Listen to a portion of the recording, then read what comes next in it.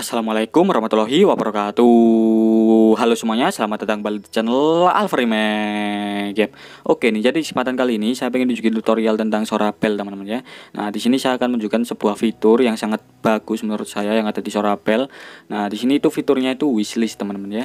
Kalau kalian yang nggak tahu wishlist itu apa, kalau kalian yang lebih kenal uh, favorit gitu ya yang ada di Lazada yang ada di apalagi itu online shop online shop lain itu kayak Shopee Tokopedia itu kan juga menggunakan fitur seperti wishlist. Nah ternyata di Sorabel juga ada teman-teman ya. Jadi kalau kalian yang belum tahu bagaimana caranya untuk menggunakannya kalian bisa tonton aja video tutorial kali ini oke? Okay? nah jadi langkah pertama yang harus kalian lakukan adalah kalian buka dulu aplikasi Sorabelnya di sini Nah, kalian tungguin sampai masuk ke tampilan awal atau tampilan utama dari Sorabel. Kalian bisa pilih aja di bagian pojok kanan ini, teman-teman ya, teman-teman ya. Nah, di sini ada sista.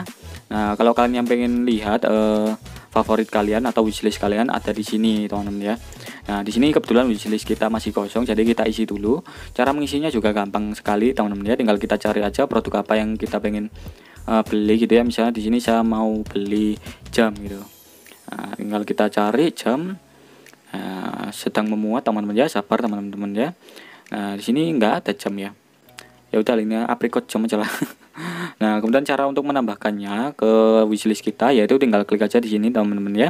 Sampai berubah menjadi warna merah. Nah, nanti bakalan langsung masuk ke sini barang yang sudah kita tambahkan. Nah, kemudian kita bisa cari lagi misalnya apalagi ya? Sepatu gitu. Kok dress? Sepatu lah, sepatu lagi. Aku pengen lihat-lihat sepatu.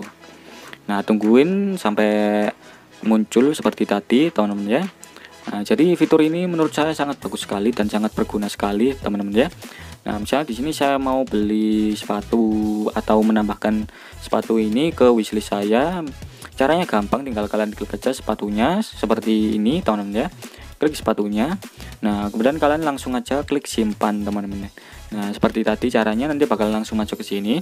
Dan untuk menghapusnya tinggal kalian klik aja lagi dua. Jadi habis klik untuk menambahkan, klik lagi untuk menghapus teman-teman ya. Nah, klik aja simpan lagi.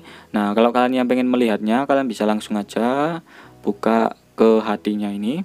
Nah, nanti bakalan terlihat semua teman-teman ya. Semua bakalan terlihat di sini semua barang yang sudah kita wishlist. Nah, jadi caranya itu simpel banget.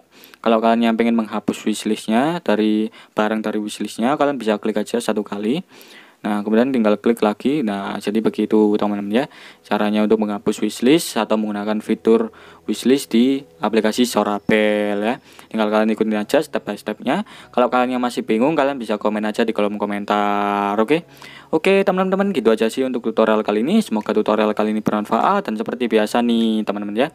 Jangan lupa like, comment, dan subscribe. Bye. See you on next video.